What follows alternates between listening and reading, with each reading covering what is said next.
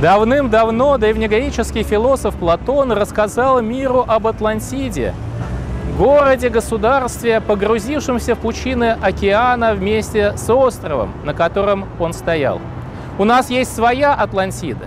За этими площадями и улицами, за той жизнью, которая сейчас вокруг нас, скрывается наша история, пласты столетий.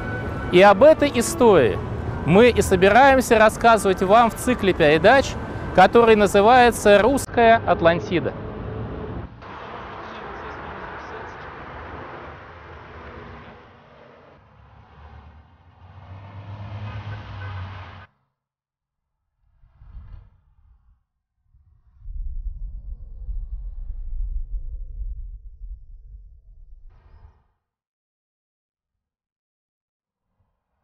В величественном иконостасе Успенского кафедрального собора города Иваново помещена икона святителя чудотворца Николая. Находится она здесь совсем не случайно. Святитель Николай широко почитался в Иваново-Вознесенске, как и везде в России.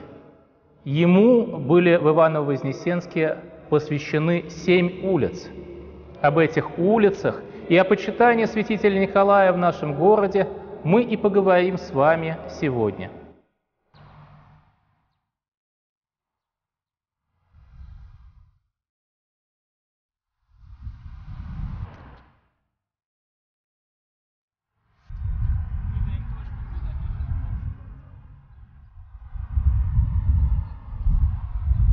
На протяжении многих веков здесь, на этом месте, возвышался величественный храм в честь воздвижения креста Господня – Сначала он был деревянный, потом каменный, и в этом храме были пределы в честь апостола евангелиста Иоанна Богослова и святителей чудотворца Николая. Престол в честь святителей чудотворца Николая известен здесь как минимум с 1667 года, и он существовал здесь до того момента, когда храм и весь этот комплекс был разрушен в 30-е годы 20 века.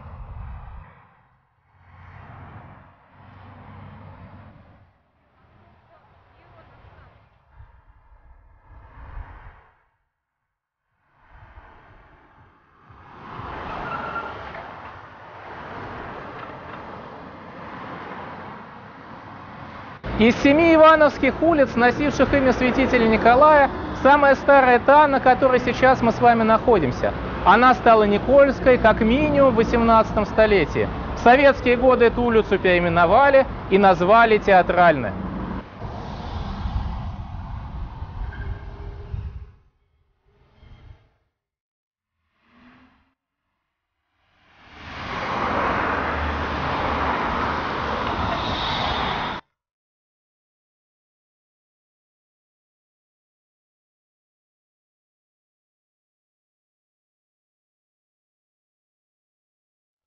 Когда-то здесь, на месте, где находилась деревня Иконникова, начали добывать глину.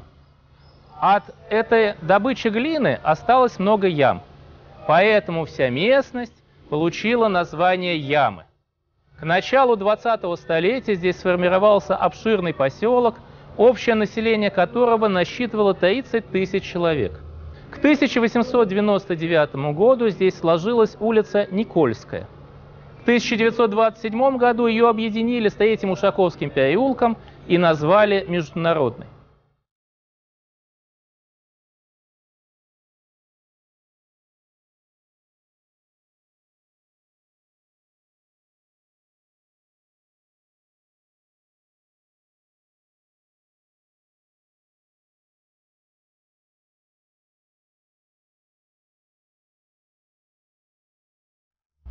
Конце 19 столетия пустошь Фаянькова принадлежала фабрикантам Горелину. К 1905 году здесь начал отстраиваться поселок, а в 1915 году появилась Никольская улица, названная в честь святителя Николая. В 1927 году улицу переименовали и торжественно назвали «Седьмой завокзальной». Всего завокзальных улиц в нашем городе 11. Каждая из них когда-то носила свое личное наименование. До революции это были Владимирская, Сергиевская, Михайловская, Петропавловская, Пушкинская улицы. Сейчас все они стали вокзальными. Случился даже курьез. В 1974 году шестую завокзальную улицу переименовали в честь секретаря обкома ВКПБ Носова, но нумерация все равно осталась. Так у нас и есть 11 завокзальных улиц.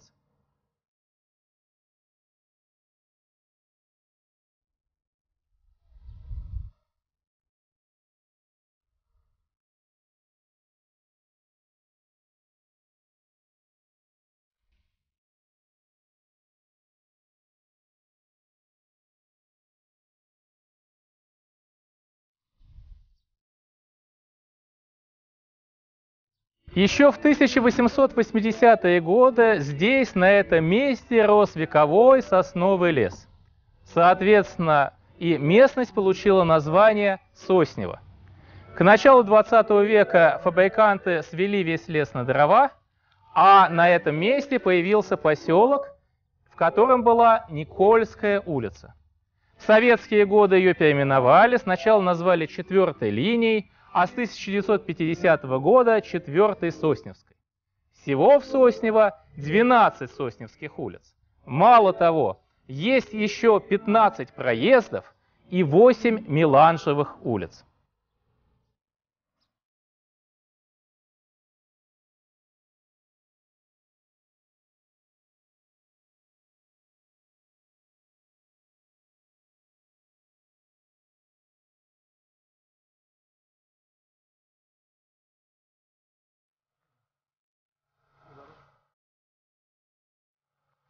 К началу 20 века обширная пустошь Ушакова принадлежала графам Шереметьевым, поэтому именовалась Графской землей. На ней возникли два поселка – Старый Ушаково и Новый Ушаково. В Новом Ушакове в 1915 году появилась Никольская улица. В годы советской власти в 1927 году ее переименовали и назвали Ударной. В самом деле, ведь святитель Николай новой власти больше не требовался, зато и требовался ударный труд –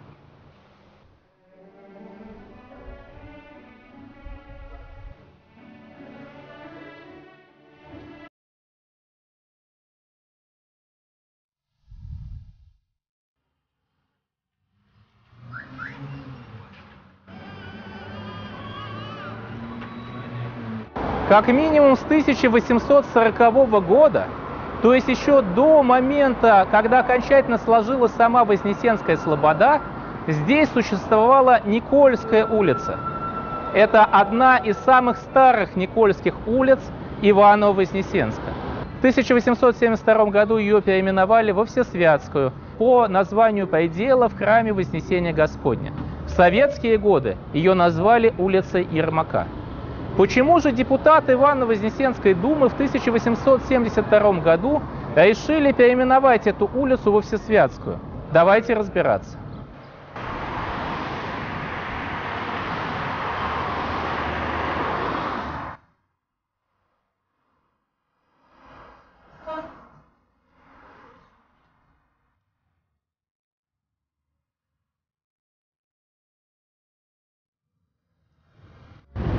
Дом-корабль советской постройки – это условная точка, которая показывает, на какие части делился нынешний проспект Ленина до революции. От Уводи и до дома корабля шла улица Александровская. А вот от ныне, места, где стоит ныне дом-корабль, и до нынешней улицы Фрунзе была улица Семеновская. И вдруг в 1872 году Семеновскую улицу называют Никольской. Почему так? По имени больницы мастеровых и рабочих в честь святителя и чудотворца Николая, которая была на этой улице обустроена.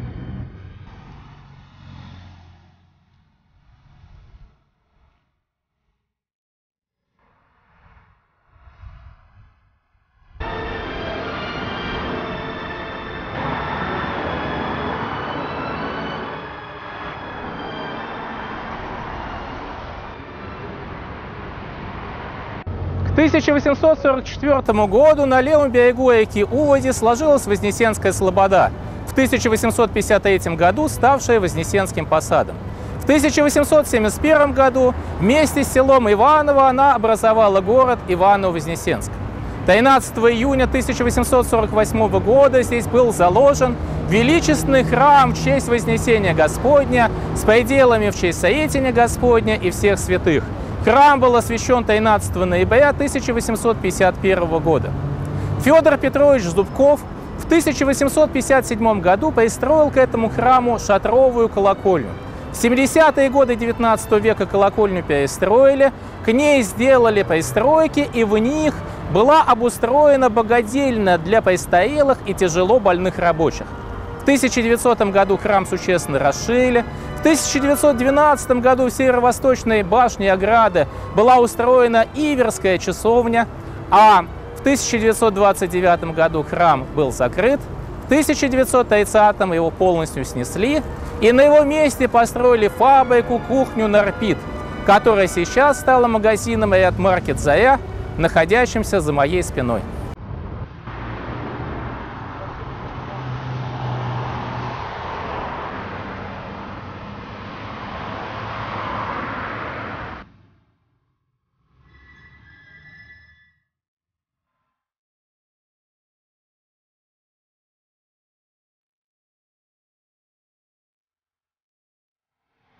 Девять лет спустя, после того, как был освящен Вознесенский храм, по проекту Константина Андреевича Тона было построено еще одно здание.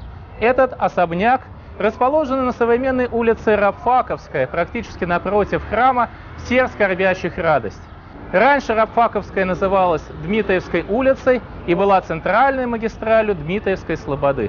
Особняк построили известные ситцевые фабриканты Зубковы Петр Афанасьевич Зубков, его сын Федор Петрович Зубков и их родственники. 2 июля 1863 года здесь, в особняке, Зубковы торжественно принимали наследника престола, сына Александра II, цесаревича Николая Александровича.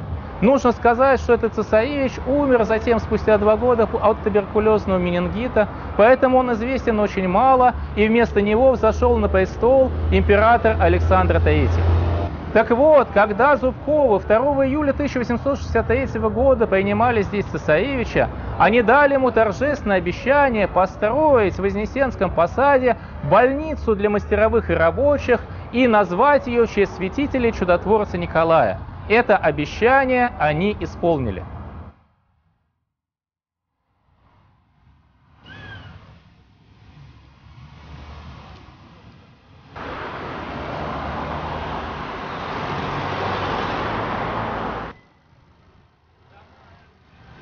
Идея построить в Вознесенском посаде больницу принадлежала Якову Петровичу Гаилину. Еще в 1857 году Владимирский губернатор утвердил специальные правила для такой больницы. И вот теперь, после торжественного обещания данного наследнику престола, ивановские фабриканты во главе с Зубковыми стали строить больницу для мастеровых и рабочих. Купили здание старой фабрики. Федор Петрович Зубков купил еще дополнительно землю, и на этой земле его сын Николай Федорович Зубков построил Никольскую богадельню с храмом в честь святителя Николая и колокольню, а неподалеку появился Александровский детский приют. На протяжении многих десятилетий впоследствии здесь была больница, а сейчас на месте Никольской богадельни, храма в честь святителя Николая и колокольни построен новый торговый центр Никольский. Именно по больнице с храмом в честь святителя Николая весь этот участок нынешнего проспекта Ленина, тогда улица Семеновская, и назывался после 1872 года Никольской улицей.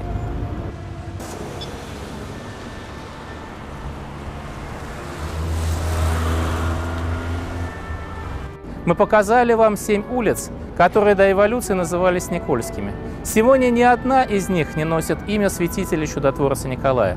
Только в коттеджном поселке Вафанасово появились сейчас сразу две Никольские улицы. Но это не Иваново, это не наш областной центр.